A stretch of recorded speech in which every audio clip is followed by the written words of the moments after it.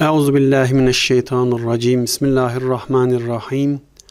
Elhamdülillahi rabbil alamin ve salatu vesselam ala resulina Muhammedin ve ala alihi ve sahbihi ecmaîn. İlk Türk İslam devleti olan Karahanlılardan yani 840 yılından 1937 yılına kadar kurulan bütün Türk devletlerinin dini İslam olarak kabul edilmiştir.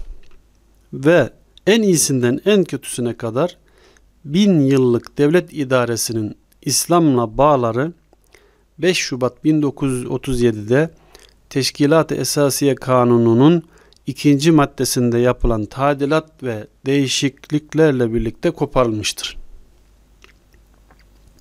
Türkiye Cumhuriyeti'nin layık bir devlet olduğu kabul edilmiş ve dini İslam'dır ibaresi sökülüp atılmıştır.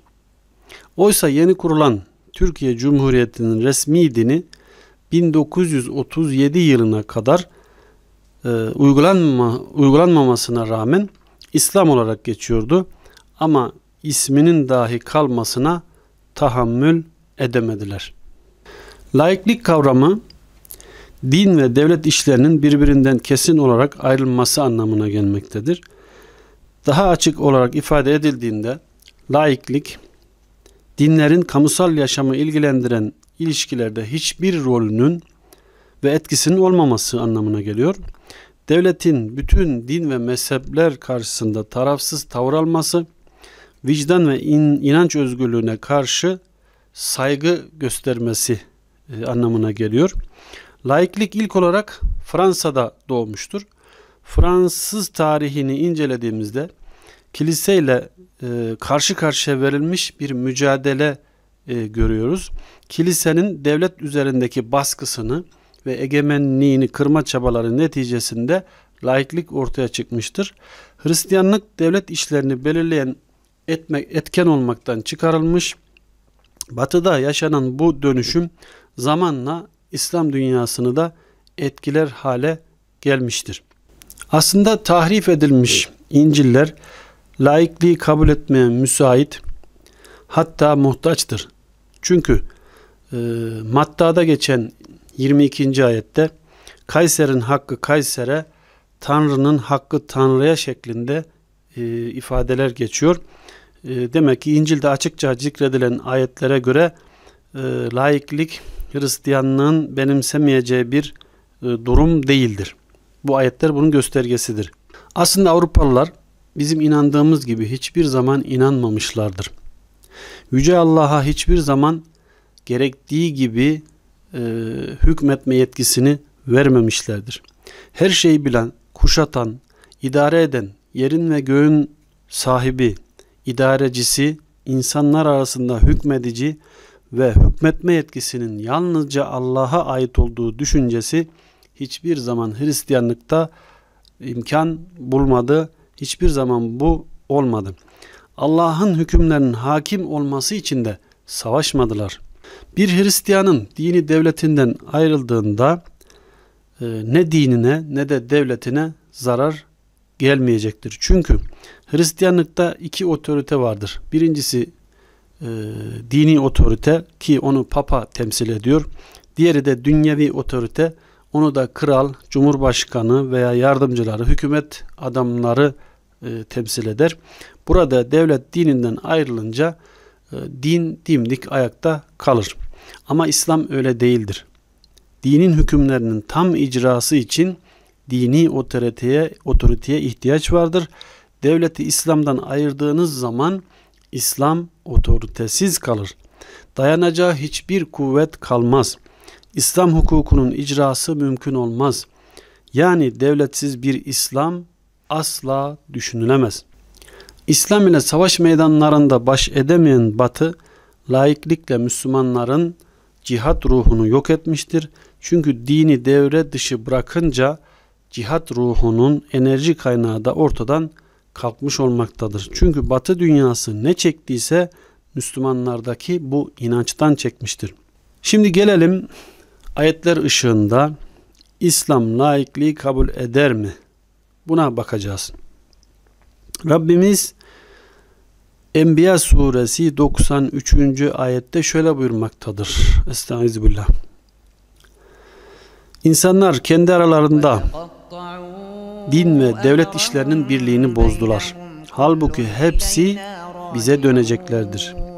Yani dünyada uygulanan her hüküm, her iş Müslümanların işleri bir bütündür, ayrılmazdır ve e, din ile ve devlet işleri ayrı olacak şekilde ayırmak mümkün değildir.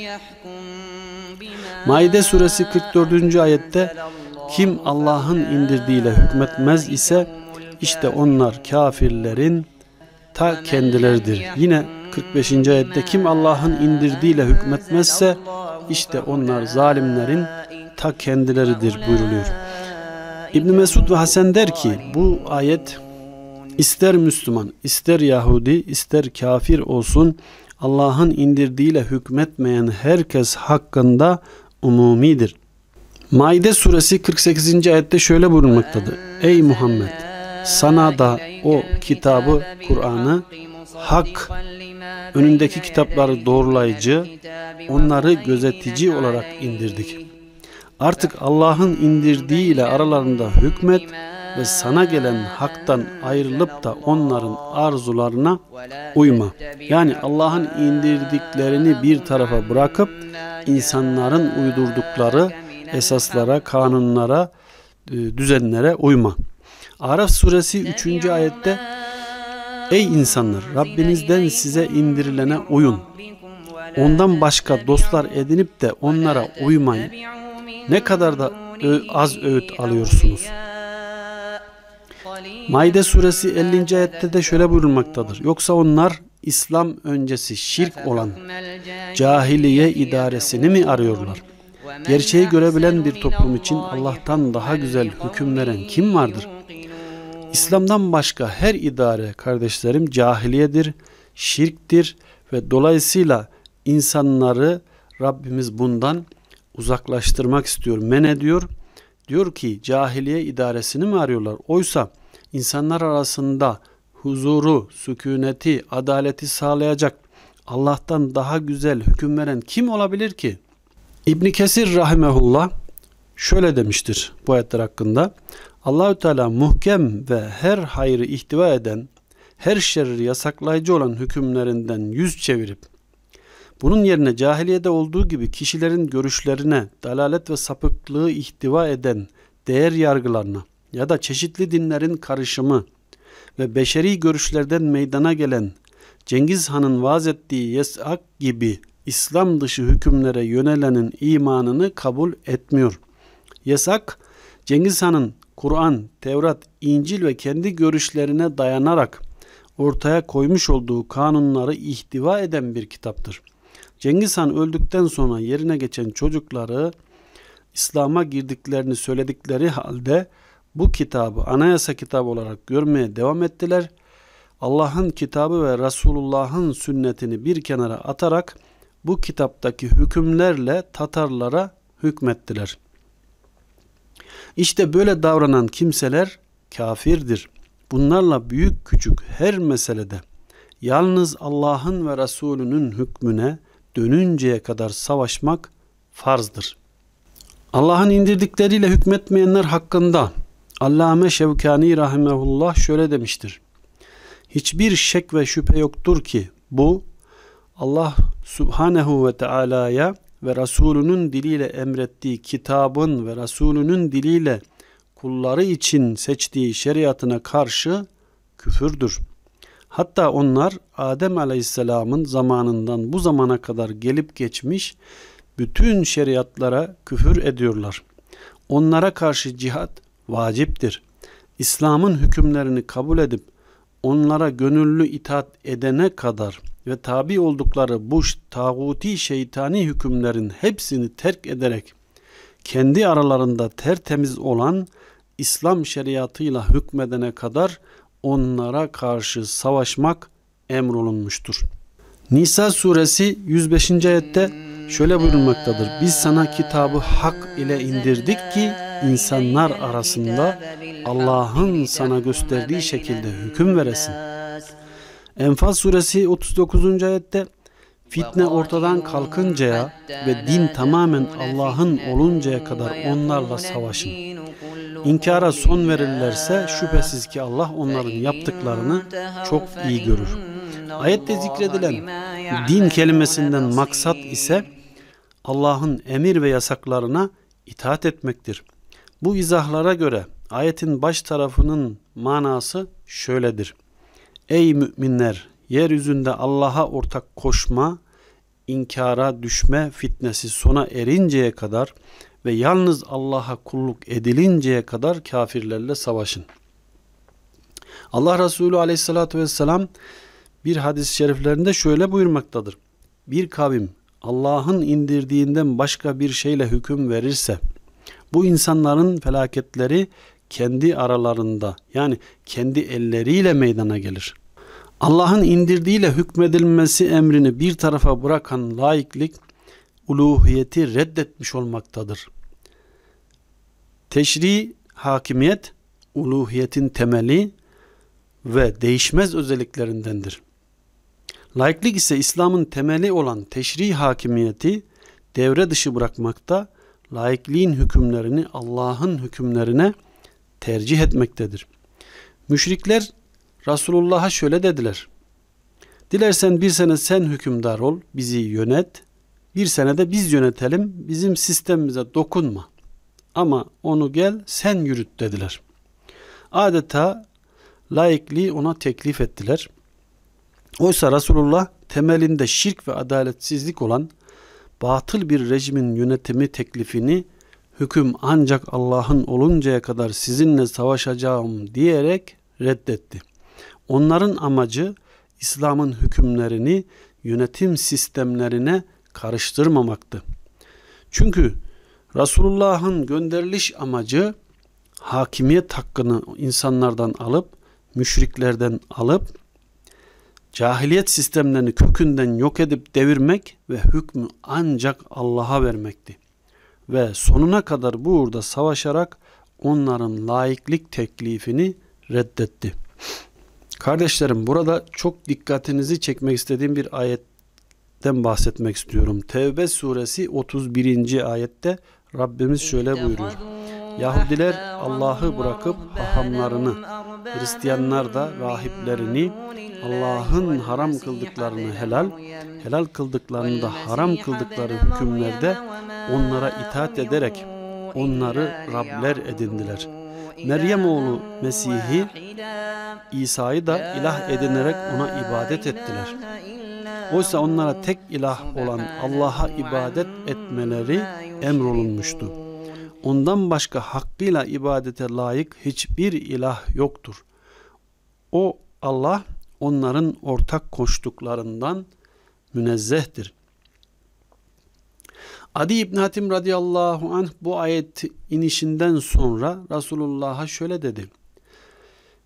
Ey Allah'ın Resulü onlar ehli kitap rahiplerine ve hahamlarına ibadet etmiyorlardı ki. Bunun üzerine Resulullah Aleyhisselatü Vesselam şöyle buyurmuştur. Evet ibadet ettiler. Onlar hahamlar ve rahipler onlara helali haram, haramı da helal kıldıklarında onlar onlara yani rahiplere ve hahamlara uydular. Onlara tabi oldular. İşte bu davranış onların hahamlara ve rahiplerine, din adamlarına ibadetleridir buyurdu. Şimdi soruyorum kardeşlerim. Allah'ın haram kıldığı her ne varsa helal sayan laiklik e, İslam'ın neresine uymaktadır? İslam'la bağdaşan bir tarafı var mıdır? Ve bu ayete göre laikliğe insanlar gönülden bağlanarak iyidir, güzeldir derse ne olur? Bu kanunu koyanları Rab edinmiş olmuyorlar mı? Ayetten bunu açıkça anlıyoruz. Yani Allah'ın hükümlerinin dışında hüküm koyanları benimseyenler, sevenler, onlara destek verenler, onlara itaat edenler onları ne yapıyorlar? Rab edinmiş oluyorlar. Eğer bir insan şayet iman ediyorsa ve bütün bu gerçekleri bildiği halde şeriatın ne demek olduğunu, laikliğin ne anlama geldiğini bildiği halde Allah'ın kanunları yerine laiklik iyidir, bence laiklik güzeldir derse alimlerin, bütün alimlerin ittifakıyla İslam dininden çıkar ve kafir olur.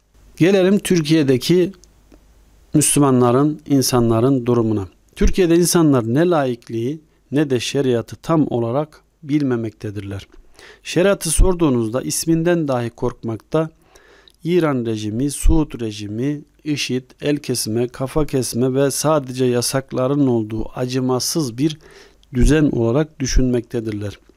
Harici zihniyetin yanlış anlayıp uyguladığı dini Allah'ın kanunları, Allah'ın nizamı zannetmektedirler.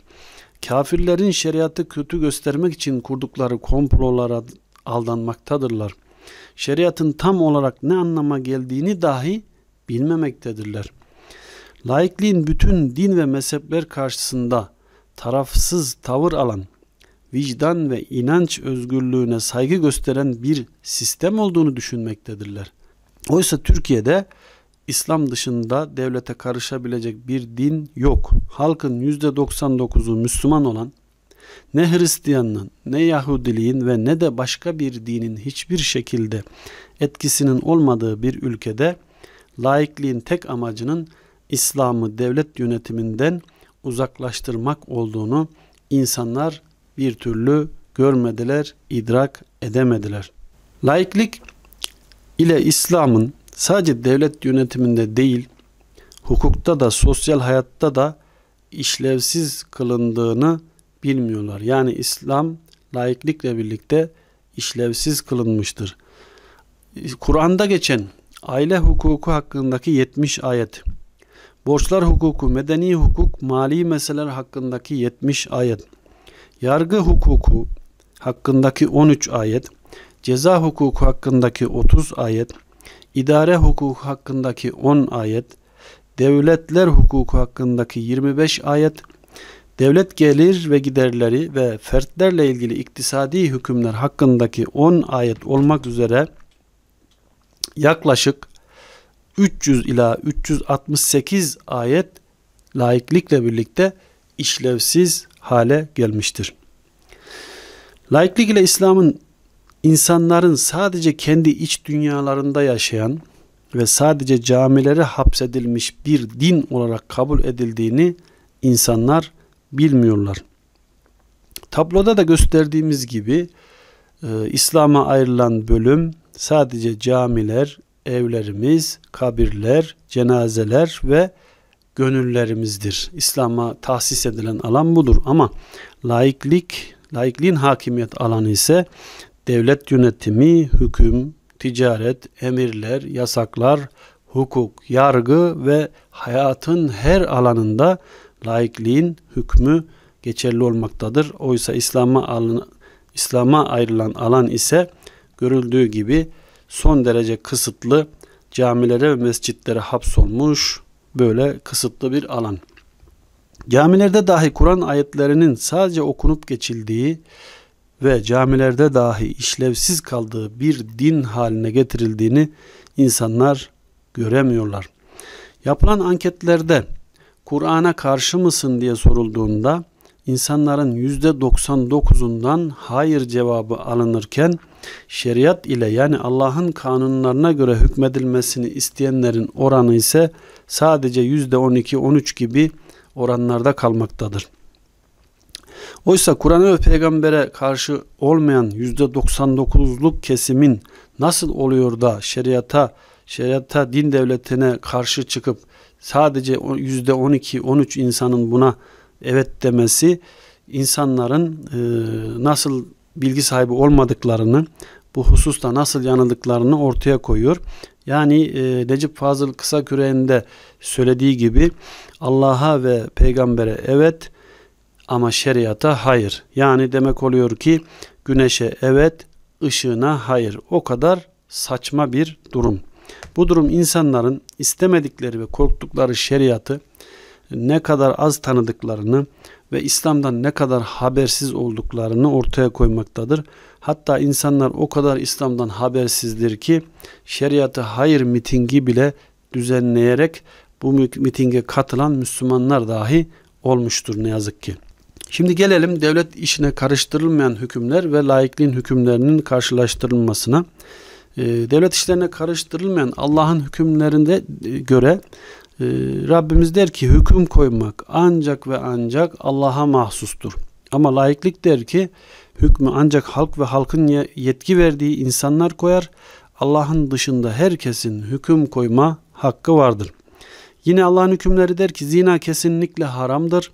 Dolayısıyla aile, ırz ve namus koruma altına alınır ve toplum huzuru sağlanır böylelikle. Ama laiklik der ki gayrimeşru ilişki herkesin kendi tercihidir. Şikayet olmadıkça devlet hiçbir gayrimeşru ilişkiye karışmaz. Devlet genel evden de vergi alabilir. Yine Allah'ın hükümleri der ki içki içmek imalatını ve satışını yapmak haramdır, yasaktır. Oysa laiklik der ki içki içmek serbesttir. Devlet içki üretimi yapar, satar ve üretimini yapandan ve satandan vergi alır. Yine Allah'ın hükümleri der ki kumar oynamak ve oynatmak haramdır, yasaktır. Laiklik der ki kumar oynamak serbesttir. Devlet bizzat kumar organizasyonları yapar, teşvik eder ve vergi alır. Allah'ın hükümleri der ki faiz kesinlikle haramdır. Laiklik der ki faiz serbesttir. Devlet tarafından bizzat faizli işlem yapılır ve faiz teşvik edilir. Devlet faizden vergi keser. Bu vergilerle her türlü harcama yapılır. Devlet bunu her türlü harcamasında kullanır. Allah'ın hükümleri der ki adam öldürmek suçtur. Katil için kısas vardır.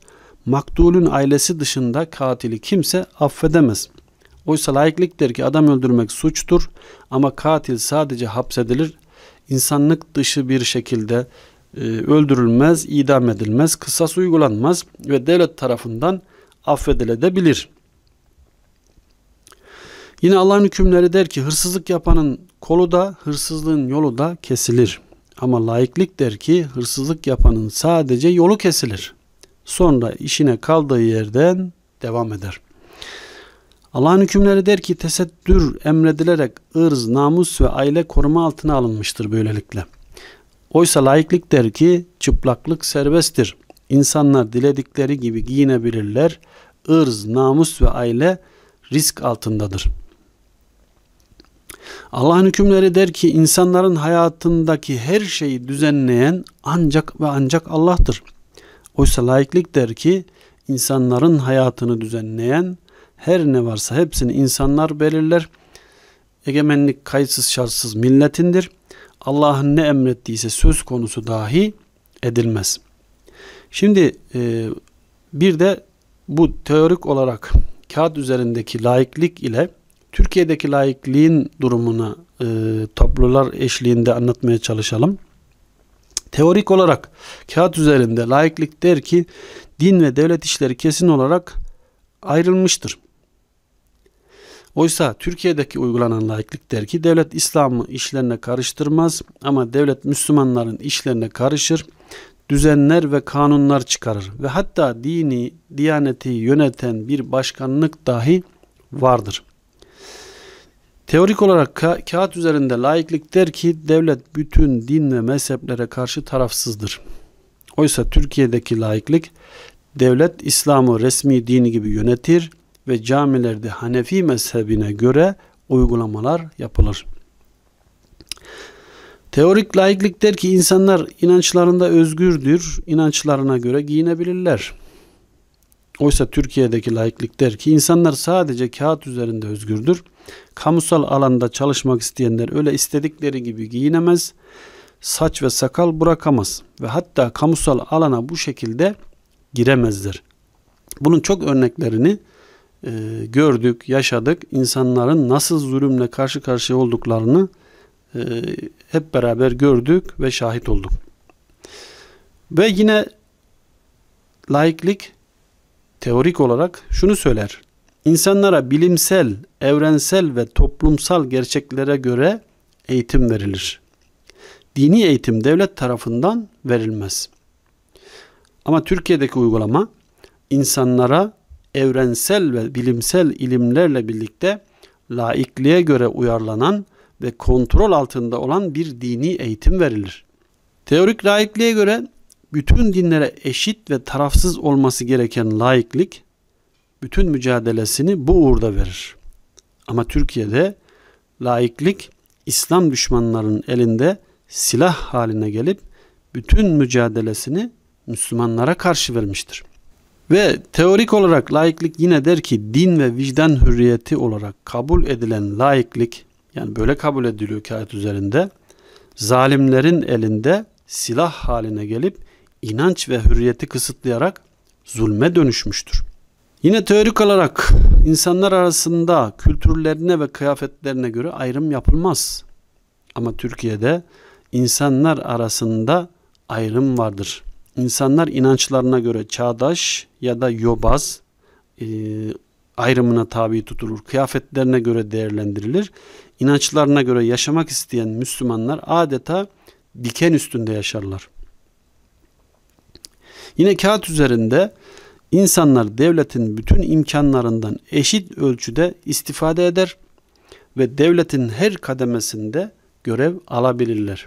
Ama Türkiye'de ülke savunması söz konusu olduğu zaman ayrım yapılmaz ama üst makamlarda insanlar inançlarını yaşayamazlar. Laikliğin istediği şekilde yaşamak mecburiyetindedirler. Aksi halde e, laiklik elden gidiyor yaygaralarıyla e, hemen gereken yapılır. Laikliği neredeyse bir din haline getiren ülkenin yarısı da tanımadıkları ve öcü olarak gördükleri şeriata gelecek korkusuyla yani şeriat gelecek korkusuyla laiklik elden gidiyor diyerek sürekli korku üretmektedirler. Böyle bir kesim var. Bu insanlar sürekli bu korkuyu pompalıyorlar, e, insanları bunlarla korkutuyorlar, ürkütüyorlar. Oysa laikliğin hakim olduğu batıda laiklik elden gitmiyor. Devlet başkanları kilisede yemin ediyorlar. Yemin törenleri düzenleniyor. İncil'e basıp e, yeminler ediyorlar. Onlar bunu yaparken hiçbir şekilde laiklik elden gitmiyor. Hatta nikah merasimlerini kilisede yapıyorlar. Ama onların laikliğine hiçbir şey olmuyor. Bu korkular yüzünden Müslümanlara baskı yapılmakta, laikliğin temel ölçüsü olarak görülen değerler bir kenara bırakılarak Müslümanların insani hakları dahi kısıtlanmaktadır. Şöyle bir slogan atarlar. Türkiye layıktır, layık kalacak. Oysa Türkiye 1937 yılında layık olmuştur. Oysa bin yıllık bir geçmişe sahip büyük bir medeniyetin e, dini İslam idi. En son 1937 yılında bu ortaya çıktı. Üç kıtaya hükmeden 5 milyon 200 bin metre kilometre karelik bir alana hükmeden koskoca bir medeniyet daha öncesinde layık değildi ki. E, o zaman bu sloganı şöyle demeniz gerekir. Türkiye layık oldu, layık kalacak. Yani layıktır, layık kalacak ifadesi doğru olmaz. Türkiye layık oldu, layık kalacak derlerse daha doğru olacaktır. Çünkü Türkiye sonradan layık oldu. Önceden layık değildi. Burası layık bir ülkedir. Burada böyle giyinemezsiniz diyerek insanlara caddelerde dahi saldırıldı. Oysa inanç özgürlüğü vardı. İnsanlar diledikleri gibi giyinebilirlerdi. Ama her ne hikmetse bu insanlar bu cüreti kendilerinde buldular. Peki bu ülkeyi düşmandan e, kim kurtardı? Yine burası layıktır, layık bir ülkedir, burada böyle giyinemezsiniz diye saldıran insanlara soruyoruz. Bu ülkenin öz evlatlarının dedeleri, ebeleri e, cepheden cepheye koşarken bu ülkeyi bunun için mi savundular?